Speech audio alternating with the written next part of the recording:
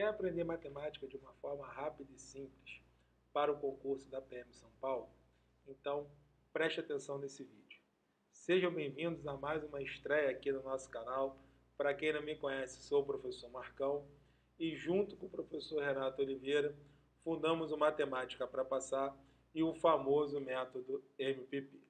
Nesse vídeo de hoje tá aí, ó. Alô você, ó. Tudo o que você precisa para gabaritar a prova da PM São Paulo. Repete aí na sua casa, para cima deles e não deixe o inimigo agir. Ó. Juntos conseguiremos essa vaga, eu tenho certeza disso. Mas antes de começarmos o nosso aulão, peço que você né, já dê aí, ó, já deixe aí o seu gostei no nosso vídeo, porque isso é muito importante para a gente né? Você não sabe a importância que tem né, o seu likezinho. E claro, né, caso você não esteja ainda inscrito em nosso canal, né, inscreva-se em nosso canal, inscreva-se no nosso canal e faça parte, seja mais um membro né, da família MPP. Né? E como você já sabe, né, já virou uma constante aqui nos nossos aulões, né, vamos a mais um depoimento de um membro da família MPP. Beleza? Vamos ao depoimento. Pessoal, Rapidex. Olha que legal, olha que depoimento bacana da Ana. Olha aí, pessoal, olha que legal. Vamos lá. Gostaria de deixar aqui minha gratidão por vocês. Conheci o canal pesquisando vídeos no YouTube para estudar para o concurso da Polícia Civil de São Paulo e simplesmente amei o método MPP. Graças a vocês, eu aprendi a gostar de matemática. E o melhor de tudo, preste atenção agora, ó, consegui gabaritar raciocínio lógico na prova de, da AGEPOL e agora gabaritei matemática na prova da PM São Paulo. Obrigada e com certeza gabaritei. Obrigada e com certeza continuarei estudando pelo canal e indicando aos amigos concurseiros. Ana Caroline Furtado. Ana, muito obrigada, muito obrigado, perdão, muito obrigado pelo seu relato, pelo seu depoimento. Eu tenho certeza que o seu depoimento vai incentivar aí várias pessoas, vários alunos. Legal? Show de bola, né? Então, pessoal, tá aí eu tenho certeza que muito em breve né, eu estarei lendo aqui o seu depoimento. Por quê, pessoal? O método MPP realmente é um método né, que vai te aprovar. Né? Com certeza, o método MPP, resumindo a história, é o método da aprovação. E agora, pessoal, sem mais delongas, sem mais, mais, mais, vamos dar início ao nosso aulão né, da PM São Paulo. Mas antes está aqui também, né, não posso deixar de informar vocês né, as nossas redes sociais. Está aqui as redes sociais, a rede social do Mago, né, do grande Renato. Está né, tá aí as redes sociais dele. E agora, passando aqui, tá aqui as minhas, né? Troco likes e sigo de volta. Vai lá no meu Instagram e ainda deixa um recadinho lá que a gente troca uma ideia. Beleza? Agora, pessoal, é de verdade bola rolando no Maracanã. Questãozinha muito batida na prova da Unesp. Vamos para cima e com certeza vamos gabaritar essa prova através do método MPP. É o método que mais aprova no Brasil. E simbora para nossa primeira questãozinha. Olha aí, pessoal, vamos lá. Uma pesquisa, tá aqui, uma pesquisa feita com 300 consumidores registrou a preferência de cada um deles sobre três marcas, sobre três marcas diferentes de sabonetes, conforme mostra a tabela. Vamos lá. Marca A 90, marca B 75, C 120 e outras 15. Vamos lá, preste atenção agora no comando. Considerando-se o número total de consumidores apresentados na tabela, o gráfico que representa essas informações em porcentagem é. Pessoal, sempre que cai uma questãozinha dessa, o aluninho erra, né? O guerreiro, ele dá mole na hora da prova e erra, né? Ele se enrola todo, em outras palavras, né? Lágrimas rolam, né? Na hora de uma questãozinha dessa, né? Você chora, você fica nervoso e não consegue resolver a questão. Só que seus problemas acabaram. Por quê, Marcão? Método MPP. Qual é o bizu para você achar o percentual de consumidores sem sofrimento nesse tipo de questão? Vamos lá, pessoal. Anota aí, ó, caneta e papel na mão. Vamos lá, simbora. Qual é o bizu? Preste atenção, pessoal. Vamos lá. Quer achar o percentual dos consumidores de sabonete da marca A? Anote isso aí. Pega o valor, ó, exatamente isso que eu estou falando. Pega o valor, divide pelo total e depois multiplica por 100. Pega o valor, quer achar a porcentagem? Né? Não precisa fazer regra de 3, eu estou te passando um macete. Pega o valor, divide pelo total, ó, qual é o total? Está aqui, ó. divide pelo total e depois multiplica por 100. Vamos colocar em prática? Ó, número de consumidores, ele quer saber, né, ele está perguntando em porcentagem. Vamos lá, número de consumidores é 90, então vou pegar o valor. Qual é o valor? 90. Vamos lá. Pega o valor, divide pelo total. Né? Pega o valor, divide pelo total. E depois pega esse resultado e multiplica por 100. Essa continha vai me dar o valor em porcentagem. Marcão, não acredito. A luz chegou, cara. Pode acreditar. Bota a mão aí no rosto. A luz chegou. E vamos passar já o facão aqui, ó. Eu vou simplificar o 100 com 300, ó. 100 por 100, ó. Vai dar 1. 100, né? Agora, 300 por 100 já vai dar quanto? 3. Aí vamos lá, fazendo agora a continha. 90 vezes 1, ó. 90 vezes 1 vai dar quanto? 90. Dividido por quanto? Por 3. 90 dividido por 3 vai dar 30. 30 o quê, Marcão? 30%. Olha que delícia. Marcão, tá gostosinho. Eu sei disso. A luz chegou. Vamos lá. Esse é o A. O B, vou fazer a mesma coisa. Como é que eu encontro o percentual sem regra de 3? Pego o valor, divide pelo total e o resultado você multiplica por 100. Vamos aplicar isso no B? Qual é o valor de consumidores da marca B? 75. Então eu vou pegar o valor, tá aqui, ó, que é 75. Opa, vou apagar tranquilamente. Vamos lá, volta aqui, nenenzinho. Vamos lá. Então, voltando aqui, vamos lá. Vou pegar o valor. Qual é o valor, pessoal? 75. Pega o valor, divide pelo total, que é 300. E o resultado multiplica por quanto? Por 100. Acabou. Facão aqui no 100 e no 300, ó, vai dar 1 em cima e 3 embaixo. 75 vezes 1. Vou colocar de vermelho para ficar igualzinho, né? Para enfeitar o pavão.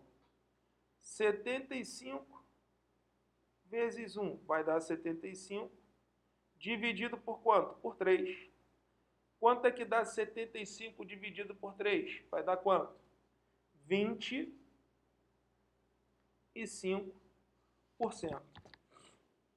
Aí vamos lá, vamos aplicar o mesmo método para encontrar o percentual do C. Pega o valor, qual é o valor? 120.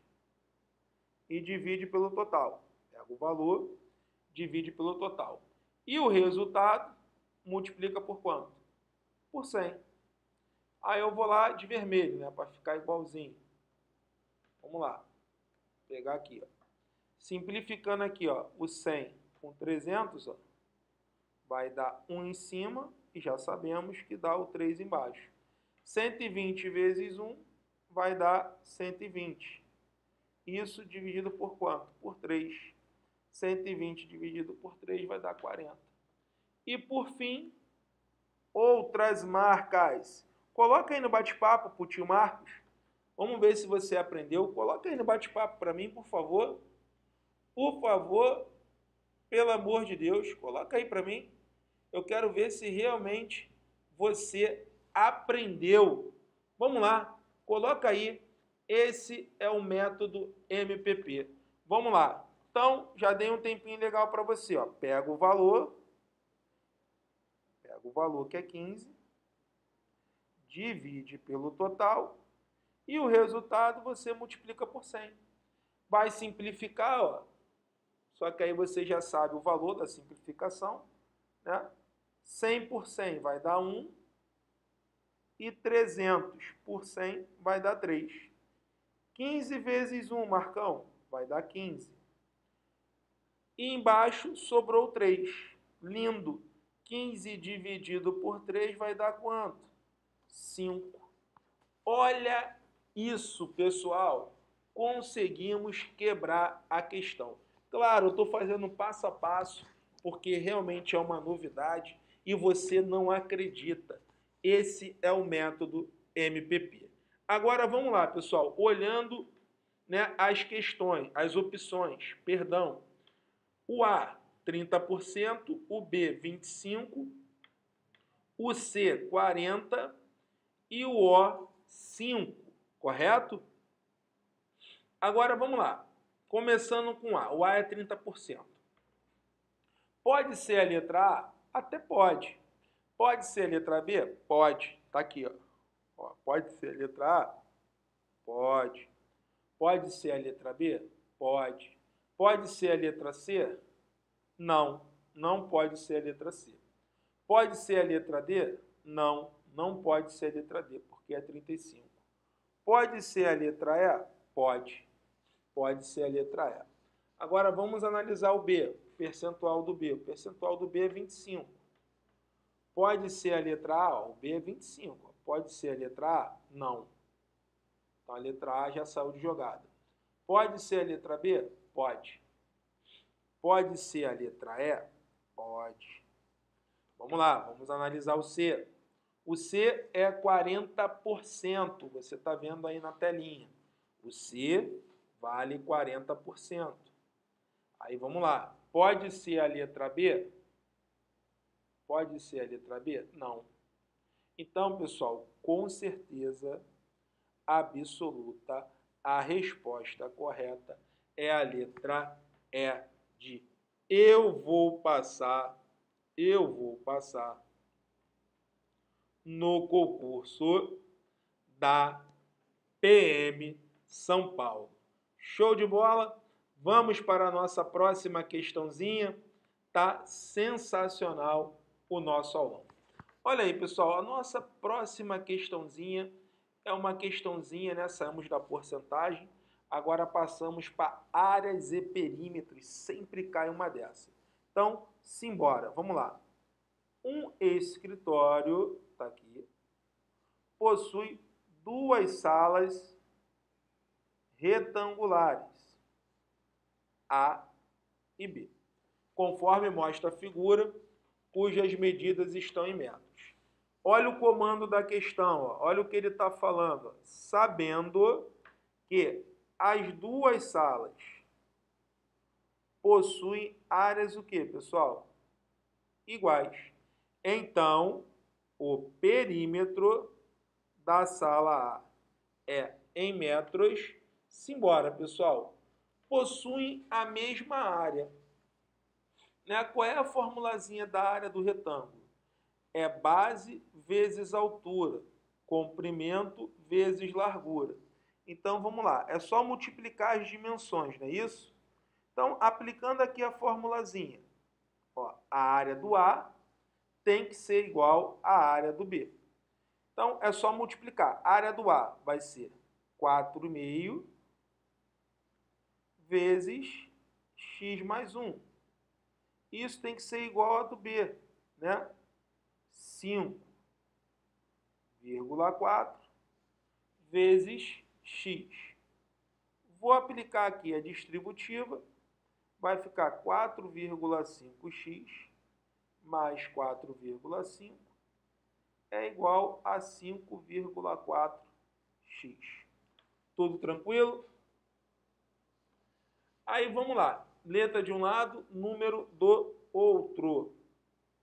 4,5x menos 5,4 é igual a menos 4,5. Passou para o outro lado, troca de sinal. 4,5 menos 5,4 vai dar 0,9. Né? Vai dar menos 0,9. Isso é igual a menos 4,5. Só que menos com menos dá mais, né? Então já posso sumir com aquele sinal ali negativo. Perfeito, Marcão. Agora vamos lá.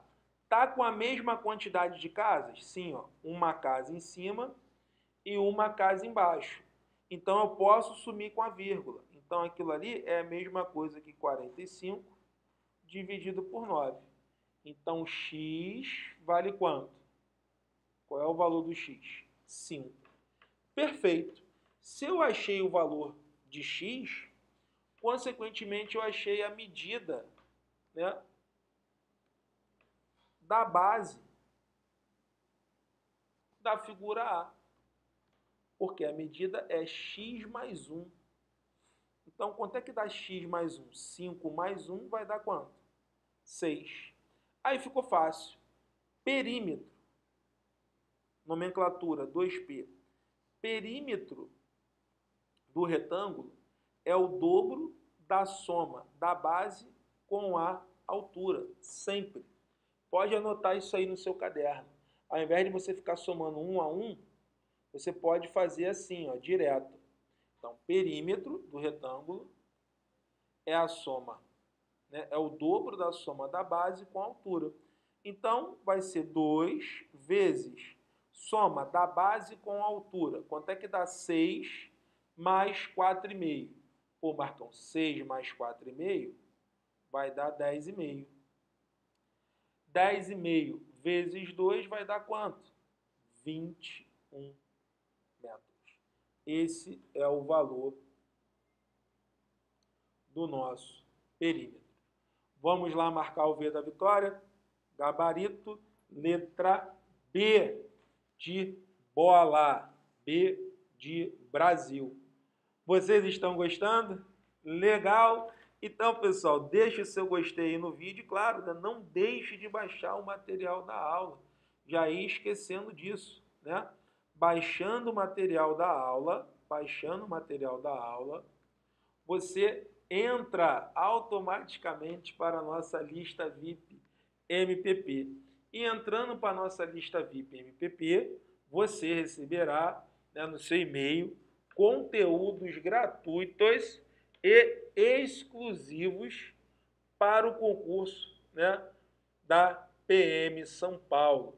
Tá legal? E aqui na descrição do vídeo, né, além do link do nosso curso, colocamos o link da Maratona PM São Paulo. Eu esqueci de falar isso no início da aula com vocês. Tá? O que é a Maratona PM São Paulo, pessoal? São 120 horas de conteúdo gratuito para vocês. São 120 horas de conteúdo gratuito, exatamente. A cada 12 horas vai chegar um conteúdo aí no seu e-mail. Então não deixe de participar da Maratona PM São Paulo. E no final da nossa mega aula, né, a gente vai trocar uma ideia sobre o nosso curso. Legal? Então, vamos lá, vamos dar continuidade à nossa aula. Vamos lá, para cima deles. Marcão, próxima questão. Vamos lá. Próxima questão, pessoal, é uma questãozinha de probleminha, né? De razão e proporção. Né? É uma questão de razão e proporção. Vamos lá, simbora. Questãozinha bem legal. Em um fichário, ó, tá aqui, ó, em um fichário, com um total ó, de 400 folhas, a razão, vamos lá, entre o número de folhas preenchidas e o número total de folhas, nessa ordem, é de 3 para 8, é 3 oitavos. Preenchendo mais 10 folhas desse fichário, a razão entre o número de folhas preenchidas e o número de folhas não preenchidas será de. Vamos lá, pessoal, simbora e vamos quebrar mais uma questãozinha da Unesp. Questãozinha muito batida que com certeza vai cair na tua prova. Então, vamos lá. Qual é a jogada, pessoal? Repete aí na sua casa. Questão de razão e proporção, coloca o K que vem a solução. Você já sabe já desse macetezinho. Então vamos lá. Primeira parte da questão. Ele fala que a razão entre as folhas preenchidas, razão é uma divisão, então, preenchidas. Opa, deixa eu apagar aqui. Minha letra é feia, mas nem tanto. é o inimigo agindo. Vamos lá. Razão é uma divisão. Então vamos lá. Razão entre folha preenchida e o total de folhas é 3 oitavos preenchida. Para o total de folhas, razão é uma divisão. Então vai ter um cara em cima e o cara embaixo. É isso? Preenchido em cima e o total embaixo. Isso tem que ser igual a 3 oitavos. Aí qual é o macetezinho? Né? Qual é o macetezinho através do método MPP? Questão de razão, coloca o K que vem a solução. Então vamos lá. Coloco o K em cima, coloco o K embaixo. Então P vai ser igual a quanto? 3K. E T vai ser igual a quanto? 8K. Só que aí o aluno erra essa questão porque ele decora, né? Ele não entende o macete. Ele decora, ele não entende o macete. Olha o inimigo agindo aí. Qual é o bizu aqui, pessoal? Vamos lá. O T é de total. Mas o aluno faz o seguinte, ó. O aluno soma isso aqui, ó. Ele soma o 3 com 8, que dá 11, e iguala 11K a 400. É o erro. Por quê? 400, ele está representando o quê? O total. E o total vale quanto? 8. Então, você vai pegar 8K e vai igualar a quanto? A 400. K vai ser igual a 400 dividido por 8. Engole o choro e se embora. Ó. 400 dividido por 8 vai dar quanto? 50. Beleza, Marcão. Então, o K, ele vale quanto? 50. Perfeito. Se o K vale 50, já tem como eu achar o número de folhas o quê? Preenchidas. Então, folhas preenchidas. Deixa eu chegar um pouquinho para o canto. Vamos lá, cabeça de gelo. Já tá, já vamos quebrar mais uma, mas muita calma nessa hora. Vamos lá, o inimigo agindo. Vamos lá. Folha preenchida. Folha preenchida 3K. Se o K vale 50, vai ser 3 vezes 50. Quanto é que dá 3 vezes 50? 150. Então, folhas preenchidas, 150. Pergunta aos senhores. Folhas não preenchidas. Pô, Marcão, folhas não preenchidas é só pegar o total, que é 400, e diminuir de quanto? De 150. 400 menos 150 vai dar 250. Aí o que, que ele faz na questão? Ele cria uma outra situação. Ó, preenchendo, ó, vamos voltar lá no texto. Preenchendo mais 10 folhas desse fichário, a razão entre o número de folhas preenchidas e não preenchidas será, pô, se ele está preenchendo mais 10 folhas, esse número aqui vai mudar. De 150, passamos para quanto? 160. E, consequentemente, esse número aqui vai diminuir. 250 vai voltar para quanto? Vai passar para quanto? Para 240. Vamos entender a questão. Olha o que ele está falando. Preenchendo mais 10 folhas. Então, qual é o raciocínio lógico disso? Se eu estou preenchendo mais 10 folhas, uma vai aumentar e a outra vai diminuir. Aqui, ó, de 150. De 150 passamos para 160 e de 250 passamos para quanto? Para 240. Razão. O que, que é razão? É uma divisão. Razão entre quem, Marcão? Preenchidas para não preenchidas. Lindo. Facão no zero. E agora eu vou simplificar todo mundo por 8. Não é isso? 16 por 8 vai dar 2. 24 por 8 vai dar 3. Lindão. Qual é o gabarito? Letra B de bola. Sensacional, Marcão. Simbora para a próxima questãozinha. Método MPP na veia. Vou agora marcar de amarelo. Vamos que vamos. Um cliente, deixa eu marcar aqui, ó, um cliente escolheu para comprar em uma loja de roupas dois tipos diferentes de camisas, camisetas A e B. Sabendo que o preço das duas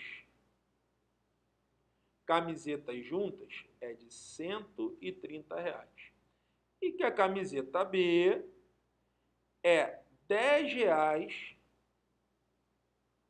mais cara do que a camiseta A. O preço da camiseta mais cara é questãozinha típica de PM, né? Probleminha, né? De equações, né? Probleminha com equações do primeiro grau.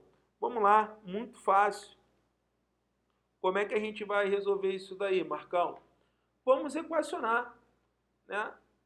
vamos passar do português para matemática. Como é que a gente passa do português para mate, matemática? Equacionando. Olha lá, ó. vamos lá.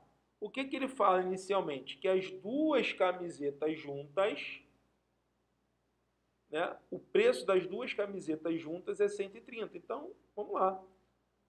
A mais B é igual a quanto? 130. E depois, ele diz o seguinte, que a camiseta B é 10 reais mais cara do que a A. Então, a B é igual a mais 10 reais. Tá aqui, ó. Montei o meu sisteminha. E o que, que eu vou fazer agora? Eu vou substituir. Eu vou usar o método da adição. Tá aqui, ó. No lugar do B, eu coloco A mais 10. Aí acabou. Suave na nave.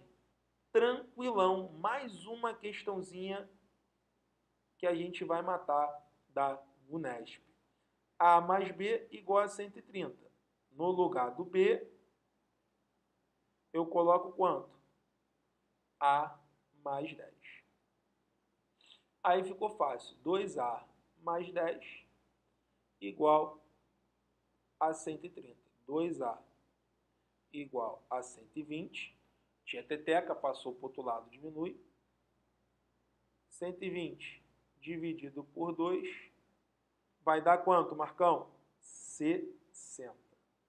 Só que ele quer a mais cara. A mais cara vai ser a B, porque a B é a camiseta A mais 10 reais. 60 mais 10, lindão. 60 mais 10 vai dar quanto? 70.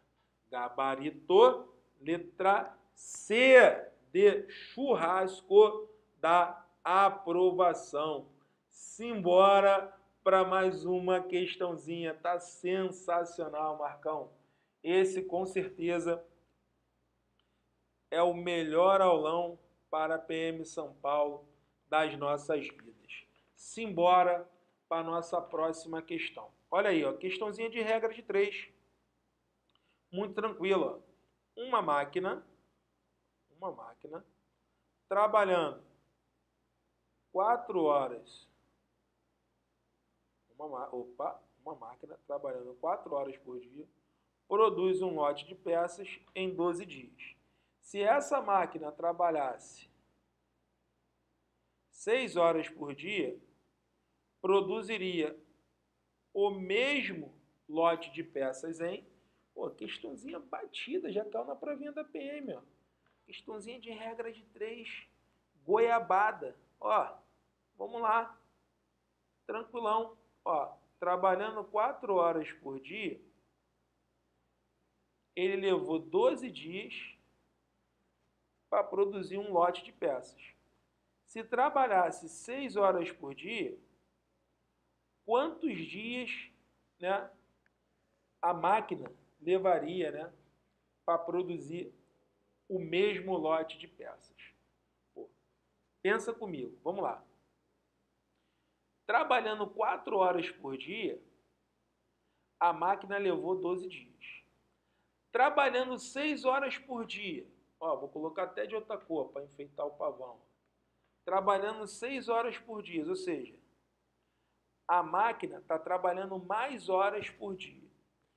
Se a máquina está trabalhando mais horas por dia, com certeza ela vai levar o quê? Menos dias para produzir o mesmo lote. Sim ou não?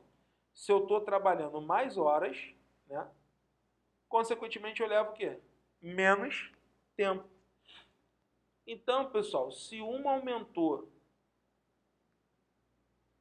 e a outra diminuiu, essas grandezas, elas são o quê? Inversamente proporcionais. E quando as grandezas são inversamente proporcionais, a gente não multiplica cruzado. Nós multiplicamos em linha. Cuidado com isso, tá? Quando for inversa, não multiplica cruzado, multiplica em linha.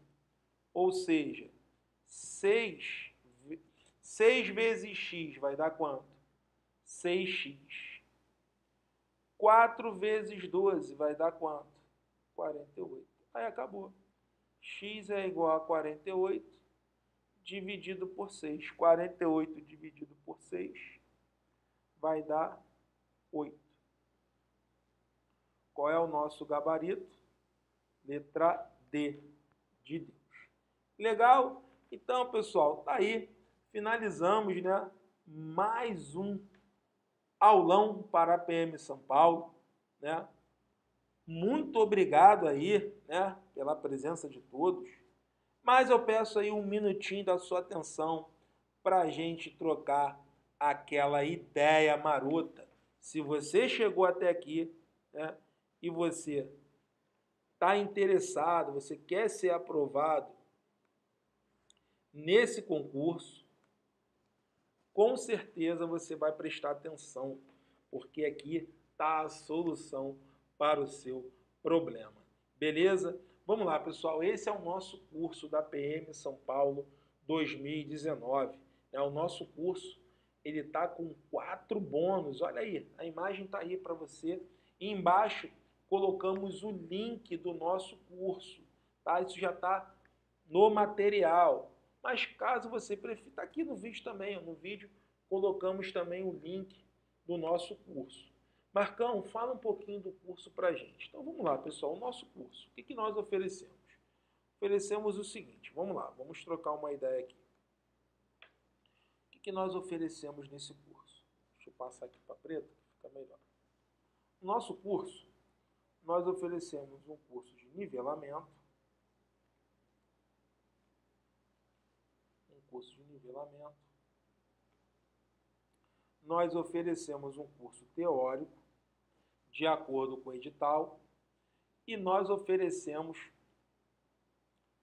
também para vocês né, os aulões ao vivo, né, semanais. Sempre tem um aulão, um aulão rolando ao vivo, né, semanalmente. Se nós parássemos aqui, já seria sensacional. Claro que aqui nós aplicamos né, o método MPP. A gente passa tudo mastigadinho para você, passo a passo. O método MPP nada mais é que um processo, né, onde ensinamos né, tudo direitinho no nosso curso. Então, primeiro é o nivelamento. Vamos lá, o que seria o curso de nivelamento, pessoal? Seria um curso de matemática básica.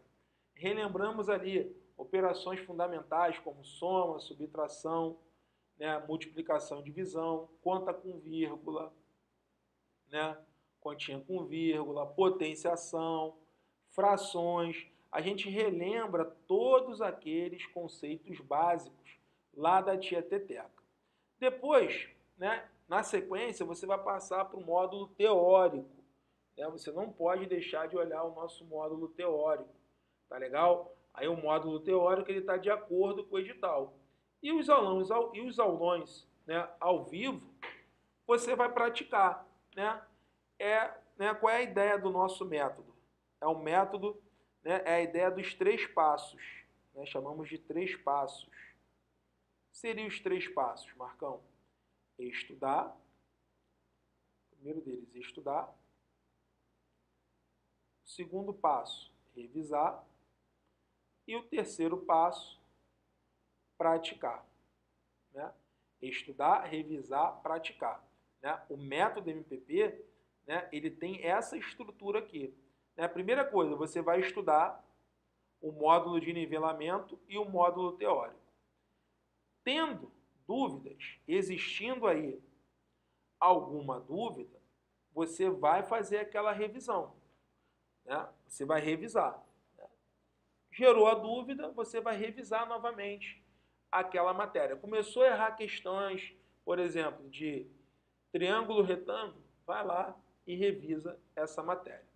Depois de você passar por esses dois passos, que é o estudar e o revisar, né? acabou com todas as dúvidas, enfim, gerou aquela autoridade, aí sim você passa para a prática. Tá legal? Que seriam os aulões ao vivo, mais os simulados que eu vou falar que está aqui nesses quatro bônus. Né? Marcão, fala logo desses bônus para a gente. Vamos lá, eu quero saber, eu estou curioso. Vamos lá. Bônus. Você vai ganhar um curso de exercício de português você vai ganhar, né? Você está ganhando aí um curso de raciocínio lógico, apesar de não cair na prova da PM, mas está lá no edital. Então nós inserimos um curso de raciocínio lógico para você estudar, tá? Português, raciocínio lógico. Temos, né, colocamos lá oito, deixa eu até olhar aqui no meu celular, oito apostilas, exatamente isso, oito apostilas, com 733 questões comentadas de matemática, né? e mais 11 simulados. É, pessoal, é isso aí. Com certeza, esse é o melhor curso para PM São Paulo do Brasil. Eu tenho certeza disso. E a pergunta que você já está falando aí, já está querendo fazer aí. Marcão, qual é o valor do meu investimento? O valor do seu investimento seria de 700 R$119,50. Né? Se fôssemos somar né, o curso teórico, né, os bônus, nivelamento, ou seja, se fôssemos somar tudo isso aqui, seu curso sairia né, por R$ 719,50. Mas hoje, vou olhar aqui, hoje, hoje, seu curso está saindo 10 de 14,99. Não perca essa oportunidade. 10 vezes de 14,99. Hoje o seu curso está saindo a esse valor. Não perca essa oportunidade de você mudar a história da sua vida e da sua família.